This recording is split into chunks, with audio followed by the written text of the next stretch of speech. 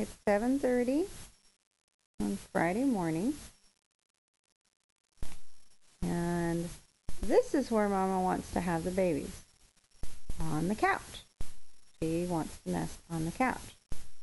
She does not care where I put her or the wonderful whelping room that I've created.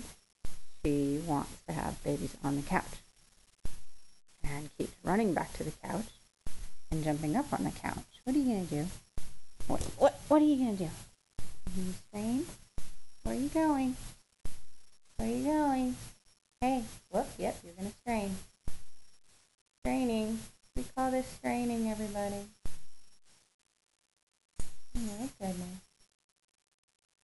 You gonna push a puppy out or wanna come back up on the couch? Where you going? Come on. You wanna have him there? Can't Mamas. Nope. Okay. To be continued.